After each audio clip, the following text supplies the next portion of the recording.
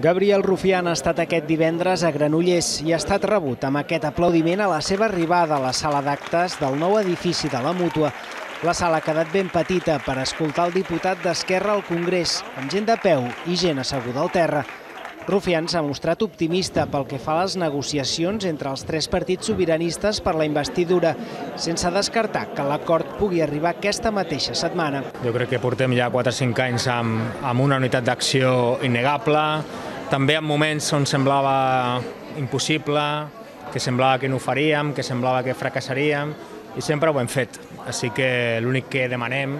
és una mica de memòria i que tothom recordi que aquestes tres forces polítiques que estan liderant aquest procés sempre, sempre, sempre arriben a un acord. La conferència organitzada pel periòdic El 9-9 ha despertat un gran interès a la ciutat, just el dia després de l'anunci del govern central de permetre a les famílies escolaritzar en castellà, si així ho desitgen. Com diu el Joan Tardà, sueños húmedos de,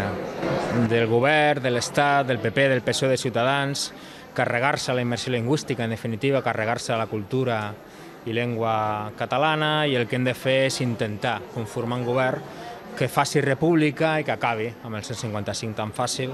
com això. Sobre la xerrada sobrevolat en tot moment, una idea clau que Rufián explica sempre que pot, que amb el procés es vol recuperar el país que el franquisme va robar fa 80 anys.